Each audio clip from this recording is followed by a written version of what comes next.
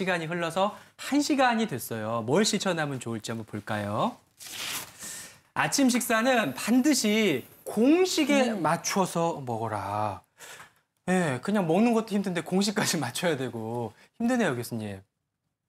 네, 이 교수님. 예, 그 아침 식사 반드시 해야 된다. 뭐 그런 얘기들을 이제 많이들 하시는데요. 상당히 도움이 되는 습관이라고 얘기를 할 수 있습니다. 실제 우리 아침밥을 먹는 거는 우리 몸의 신진대사에 시동을 거는 행위라고도 얘기를 할 수 있겠는데요. 그 일부 연구에 의하면 어, 아침을 굶은 사람 같은 경우에 있어서는 점심이나 저녁 이럴 때 조금 어, 비정상적으로 혈당이 좀 많이 올라가게 되는 그런 상황이 되고요.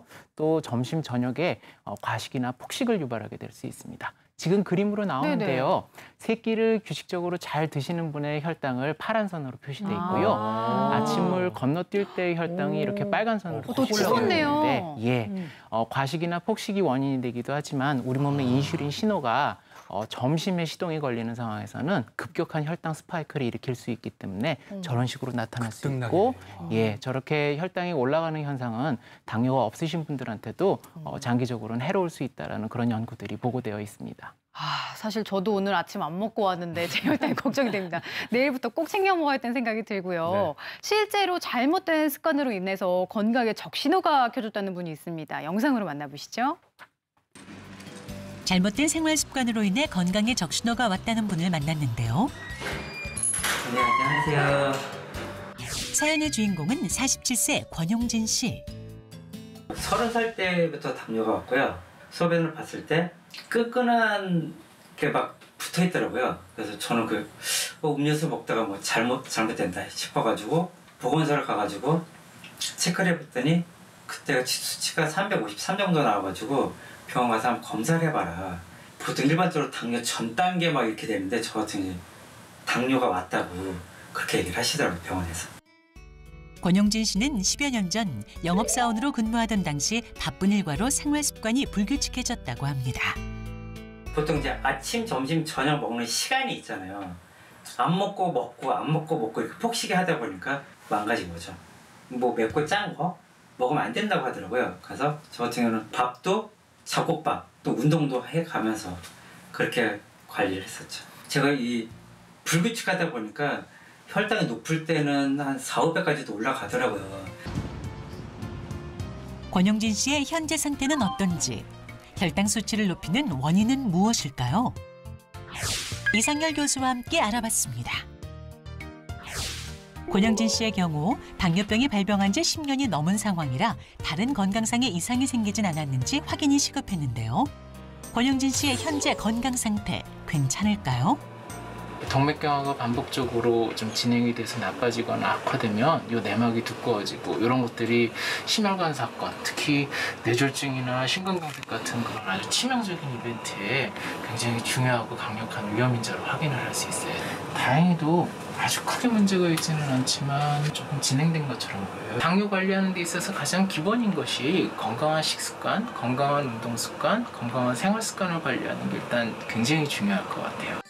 살짝 생활 습관에 문제가 있을 것 같은데요. 권영진 씨는 평소 공복 혈당이 높아 아침밥을 건너뛰곤 했다는데요. 아침밥을 안 먹었을 때와 먹었을 때 혈당에 어떤 변화가 있을지 알아봤습니다. 식사 시간, 식사량 등을 조절해 동일한 조건 하에 혈당 비교를 진행해 봤는데요. 아침밥 결식 유무에 따라 과연 혈당 수치는 어떻게 바뀌었을까요?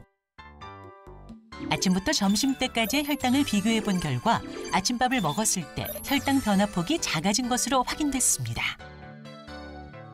오히려 아침을 챙겨 먹으니까 혈당의 낙폭도 크지도 않고 그래서 아침밥을 챙겨 먹는 게 도움이 되는 걸 이번에 알았고요. 궁금한 점은 저처럼 혈당 높은 사람들은 어떻게 측정해 정확한 측정을 할 수 있으며 그리고 주의해야 될 습관들은 없는지 이게 궁금합니다. 아침밥만 먹었는데도 이렇게 혈당이 안정되는 모습을 보니까 새삼 아침밥이 참 중요하구나 다시 한번 느끼게 되는데 사례자분 이 밖에도 좀 어떤 점을 잘하면 혈당 관리에 더 도움이 될까요, 교수님?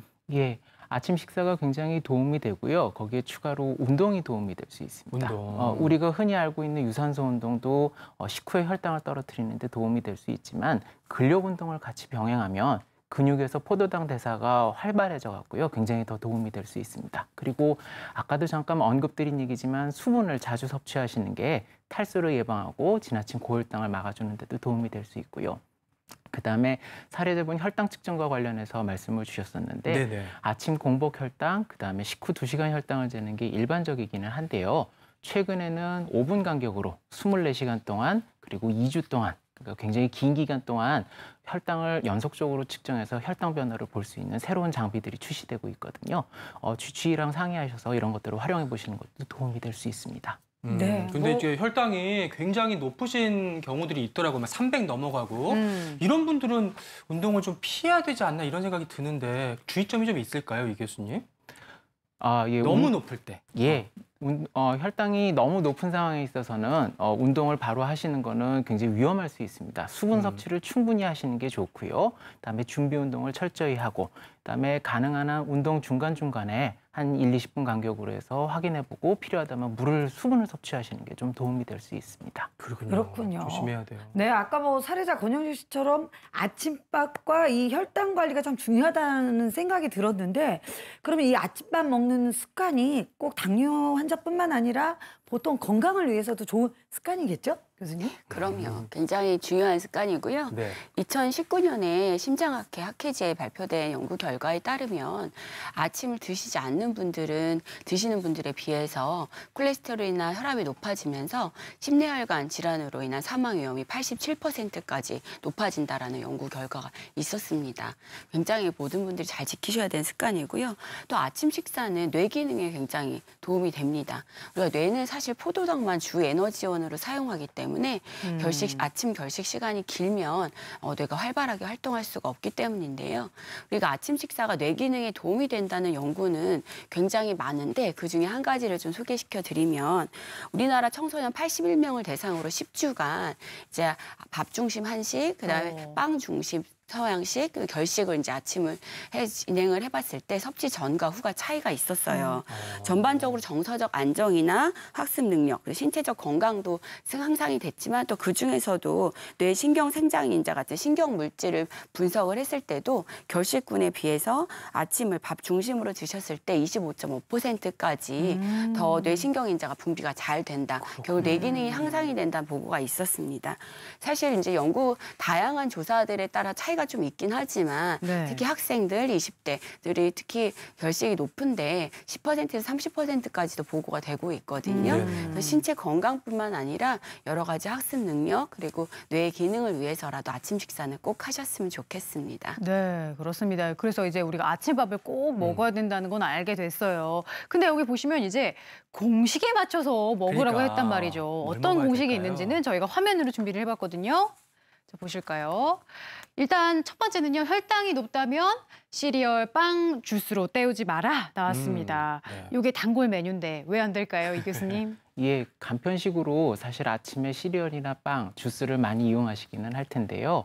이게 정제가 많이 돼 있고 가공이 돼 있기 때문에 소화 흡수가 빠릅니다. 그리고 대부분 탄수화물로 이루어져 있기 때문에 혈당을 급격하게 올리기, 올리는 작용을 해서요. 당뇨병 환자들한테 좀 해롭죠. 그래서 이런 단순당, 그다음에 정제 탄수화물의 함량이 적은 음식을 고르시는 게 아침 식사를 현명하게 선택하시는 방법이라고 생각합니다. 음. 그렇군요. 그럼 교수님, 요, 요건 어떨까요? 제가 쓰는 방법이긴 한데 네. 아침밥을 먹기 전에 전에. 배고프니까 전에 과일로 아, 배를 과일. 채우는 거죠. 아, 어. 어, 교수님 괜찮지 않나요? 네. 어. 네, 빈속에 이제 과일을 드시면 특히나 신맛이 나는 오렌지나 뭐 레몬, 자몽 같은 신맛 나는 과일은 위- 어, 위가 좀 위산 장, 위장 장애가 좀 일어날 수가 있고요. 음. 만약에 드신다면 섬유질이 좀 많은 과일을 드시는 게 좋고 대추나 뭐 배, 사과, 바나나 같은 것을 드시는 게 더 낫겠습니다. 음, 네. 정제 탄수화물이나 단순 당은 좀 피하셔야겠고요. 그러면 그 대신에 뭘 먹으면 좋을까? 두 번째 공식에 나와 있더라고요. 밥은 통곡물로 단백질과 식이섬유는 꼭 섭취해야 된다. 이유가 뭘까요? 예, 아무래도 어, 통곡물을 섭취하게 되면 혈당이 천천히 올라갑니다. 당지수라는 단위가 있는데요. 특정 음식을 먹고 혈당이 얼마나 빨리 올라가는지 많이 올라가는지를 확인하는 그런 지수인데요. 통곡물, 그다음에 단백질, 불포화 지방산으로 구성된 음식들은 상대적으로 당지수가 낮아서 혈당을 걱정하시는 분들한테 많이 도움이 될 수 있습니다. 그렇군요. 네. 네. 아니 그럼 교수님 말씀하신 것처럼 뭐 단백질을 먹으라면 어, 아침에 삼겹살을 구워도 될까요? 고기를 먹으라는 말씀이신 것 같은데 아우, 좋을 것 같긴? 한데. 네. 네, 아, 아침 식사로 단백질 식품을 많이 드시면 일단 기초, 기초 대사량도 올라가고 포만감도 줘서 이제 과식도 예방할 수가 있고 또 그- 근육도 보존할 수가 있습니다. 도움이 되는데 이때 어떤 단백질을 드셔야 되냐 그러면 사실 지방이 많은 뭐 베이컨이나 뭐 햄, 소세지, 삼겹살 같은 어, 육류는 좀 피하는 게 아, 좋겠 고요. 피하라. 오히려 아침 식사는 좀 소화도 잘 되고 열량도 좀 낮은 계란이나 어. 또 기름이 적은 육류나 생선류를 좀 드시는 게 더 나을 것 같습니다. 또 아침 식사를 꼭 추천하고 있는 메뉴가 있는데 네네. 어, 계란이랑 두부, 견과류 종류가 좀 들어갑니다. 어, 둘 다 이 세 가지는 꼭 드셨으면 좋겠고 여기는 네. 식물성 단백질뿐만 아니라 동물성 단백질, 또 좋은 지방 성분도 함께 드실 수가 있고 또 소화도 잘 되는 식품이라서 아침 식사로 드시면 좋을 것 같습니다. 네, 이렇게 해서 이제 아침 식사로 좋은 메뉴까지 정해졌고요. 그다음 이제 시간도 규칙적으로 지키면 좋다고 하는데 그다음 공식에 나와 있거든요. 세 번째 공식이에요. 기상 후 30분에서 2시간 이내에 드시는 게 도움이 된다고요, 교수님. 네. 사실 일어나자마자 식사를 하는 게 쉽진 않죠. 소화도 좀 잘 안. 되고 입맛도. 없고. 그래서 30분 좀 지나서 드시는 게 좋겠고 또 너무 시간이 지나게 되면 오히려 식사 때도 놓치고 아 점심이 가까워졌는데 뭘 아침을 먹어 하면서 식사를 거르시기가 쉽기 때문에 한 아침에 일어나서 아침 준비하시고 30분 후에 드시는 게 좋다고 말씀을 드리는 거고요.